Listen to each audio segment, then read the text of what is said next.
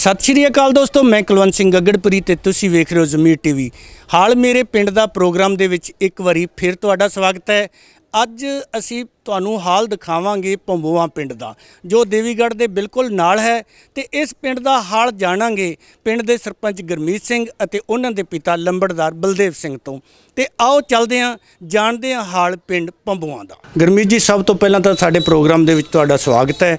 ਤੇ ਮੈਂ ਨਾਲੋਂ ਨਾਲ ਤੁਹਾਨੂੰ ਇਹ ਪੁੱਛਣਾ ਚਾਹਾਂਗਾ ਕਿ ਜਦੋਂ ਤੋਂ ਤੁਹਾਡੀ ਪੰਚਾਇਤ ਬਣੀ ਤੁਸੀਂ ਕਿਹੜੇ ਕਿਹੜੇ ਕੰਮ ਕਰਵਾਏ? ਕੰਮ ਤਾਂ ਬੜੇ ਹੋਏ ਆ ਜੀ ਪਿੰਡ 'ਚ। ਬਾਕੀ ਜੋ ਵੀ ਕੰਮ ਹੋਏ ਉਹ ਮੇਰੇ ਪਿਤਾ ਜੀ ਦੱਸਣਗੇ ਜੀ। ਉਹਨਾਂ ਦਾ ਜਿਹੜਾ ਸਹਿਯੋਗ ਤੁਹਾਨੂੰ ਰਿਹਾ? ਹਾਂਜੀ ਹਾਂ ਉਹਨਾਂ ਦਾ ਪੂਰਾ ਸਹਿਯੋਗ ਹੈ ਜੀ ਮੈਨੂੰ। ਤੇ ਗੁਰਮੀਤ ਸਿੰਘ ਦੇ ਪਿਤਾ ਜੀ ਲੰਬੜਦਾਰ ਬਲਦੇਵ ਸਿੰਘ ਇਲਾਕੇ ਦੀ ਮੰਨੀ ਪਰਮੰਨੀ ਸ਼ਖਸੀਅਤ ਹਨ। ਉਹ ਪੱਲੇਦਾਰ ਯੂਨੀਅਨ ਦੇ ਵੀ ਪ੍ਰਧਾਨ ਹਨ ਤੇ ਨਾਲ ਨਾਲ ਮਾਰਕੀਟ ਕਮੇਟੀ ਦੇ ਮੈਂਬਰ ਹਨ।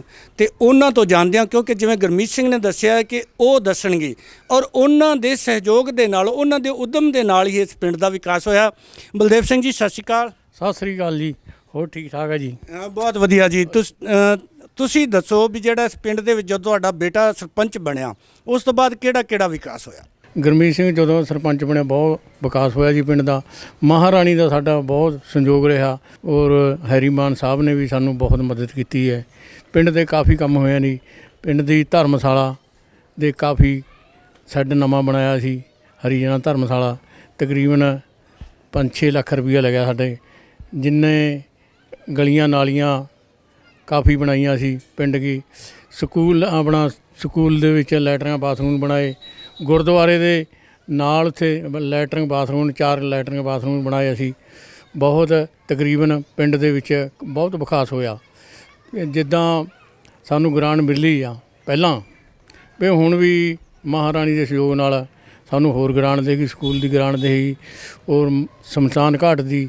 ਸਾਡੇ ਪਿੰਡ 'ਚ ਪਾਣੀ ਦੀ ਬਹੁਤ ਸਮੱਸਿਆ ਜੀ। ਪਾਣੀ ਸਾਨੂੰ ਸਿਵਰੇਜ ਵਾਸਤੇ ਵੀ ਗ੍ਰਾਂਟ ਦੇਣੀਆਂ ਨੇ ਹਾਂ ਕੀਤੀ ਹੋਈ ਆ। ਵੀ ਸਾਡੇ ਪਿੰਡ ਦੇ ਤਕਰੀਬਨ ਕਾਫੀ ਵਿਕਾਸ ਹੋਇਆ ਜੀ।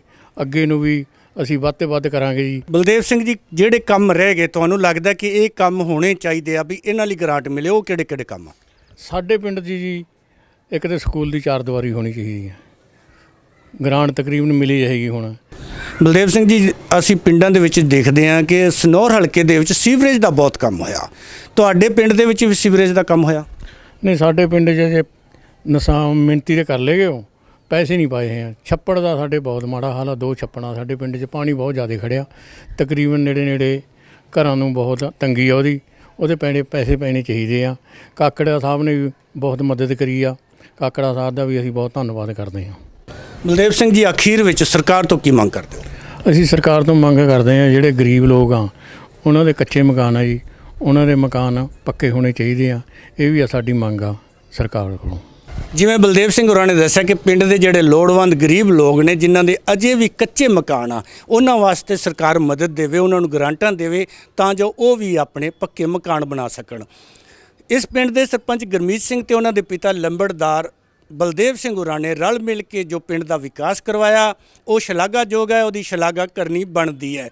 ਤੇ ਨਾਲੋਂ ਨਾਲ ਅਸੀਂ ਸਰਕਾਰ ਨੂੰ ਜ਼ਮੀਰ ਟੀਵੀ ਵੱਲੋਂ ਵੀ ਇਹ ਅਪੀਲ ਕਰਾਂਗੇ ਕਿ ਪਿੰਡਾਂ ਦੇ ਵਿੱਚ ਜਿਹੜੇ ਵਿਕਾਸ ਰਹਿ ਗਿਆ, ਉਹਨਾਂ ਵਾਸਤੇ ਵੀ ਪੰਚਾਇਤਾਂ ਨੂੰ ਗਰਾਂਟਾਂ ਦੇਵੇ ਜੋ ਉਹਨਾਂ ਦੀ ਮੰਗ ਹੈ।